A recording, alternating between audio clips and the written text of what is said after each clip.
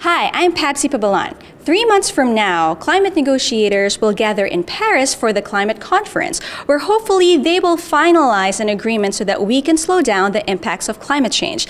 Leading us at the forefront is Rachel Kyte, World Bank Group's Vice President and Special Envoy for Climate Change. She has a pretty cool title because she is. So let's meet her now.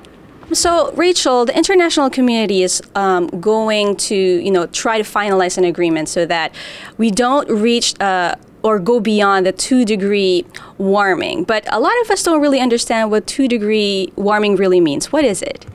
So, uh, six years ago, uh, the international community agreed that we should, as you just said, not allow uh, GHG emissions to continue to the point where the planet would warm two degrees above pre industrial levels two degrees um, can be quite devastating for the oceans. Uh, for the amount of uh, temperature change could affect uh, fishing patterns and, and coral reefs.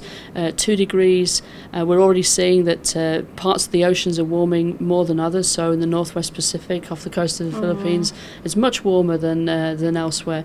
You know, th this brings volatile weather, extreme weather events. It brings spots of heat and spots of rainfall, which are very difficult to manage. So mm -hmm. two degrees is is, is where we should stop the, the that is where we're trying to negotiate for but two degrees is dangerous in and of itself. Right. well let's talk about the conference in paris. Compared to other negotiations in the past what makes this one different? I think in the past people were very fixed on a sort of a global number, you know, that emissions will reach either this or we will stop uh, emissions at this point, that we will have um, a, a, global binding treaty to which everybody will um, adhere.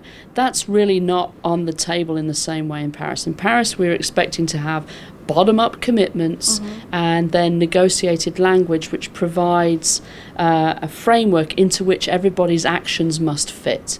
So countries are submitting plans, they're called uh, in, um, intended nationally determined contributions. Mm-hmm. Uh, we have a finance package, there is a negotiation of a text, and there are what we call the action agenda where civil society and science and business and government are coming together on issues which are important to them and saying, we're going to do this outside of the convention. What does a strong climate deal look like? What are we hoping for?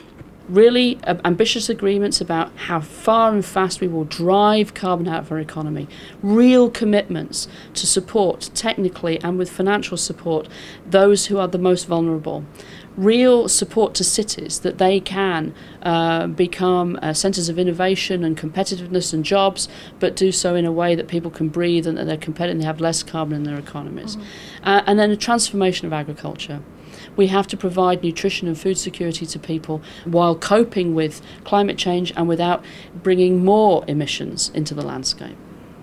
What role does the World Bank play in all of this? So our role is as the organi- the development finance organisation that will be there for you not just today, not just as we were 20 years ago, but in 20 years' time, in 25 years' time, with technical solutions, with knowledge of what's working elsewhere mm-hmm. in the world, and with flexible financing to help you get there.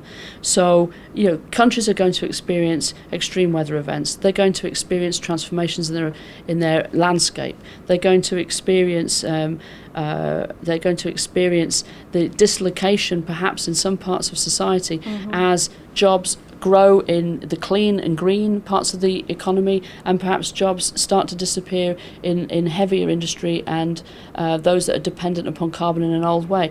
We are the organisation that will be with you through this transformation, and we must be good enough to be able to provide you with some of the solutions that might work for you.